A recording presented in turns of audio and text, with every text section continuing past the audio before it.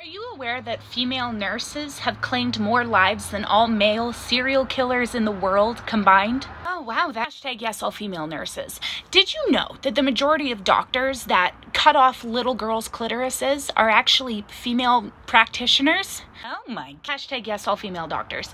Did you know that the majority of children who are abused by a parent are abused by the mother? I swear to God, if you're about to hashtag yes all mothers, did you know you're gonna keep up this charade all day? Because I can do it too. Did you? Or just throwing this out there, take it or leave it. Or we could stop the oppression Olympics and, you know, try to treat the issues and not the gender. Thoughts?